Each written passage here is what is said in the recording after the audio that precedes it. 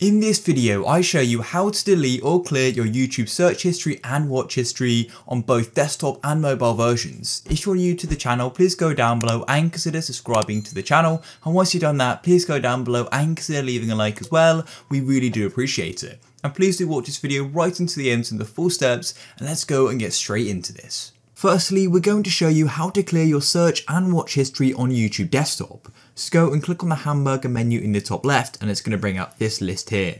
And all you want to do is go and click on history. Come over to the left hand side, we've got a list of different options and all you want to do is go and click on manage all history.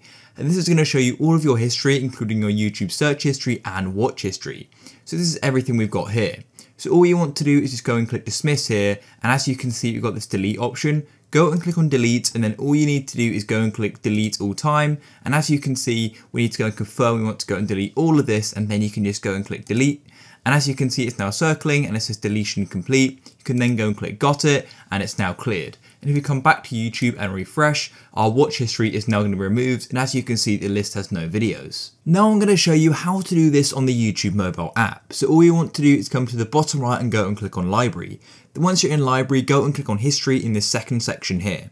Then as you can see, we can go and see our watch history. Then we've got two separate options. So if you want to go and clear your search and watch history on YouTube, all you need to do is go to click on the three dots in that top bar on the top right, and then you want to go and click on history controls then all you need to do is go and click for clear watch history and clear search history and you can go and click on both of these and go and clear them. However, if you just want to go and remove certain videos from your watch history, you can go and find them in this list here and go click on the burger menu or the three dots in the top right of this video, for example in this section here, and then we can just go and remove that one video from the watch history. But if you want to go and clear your search history, you need to go and click on the three dots in the top right of the main YouTube app and not each video. If you found this video useful, please go down below and consider subscribing to the channel. Leave leave a like for more. Peace.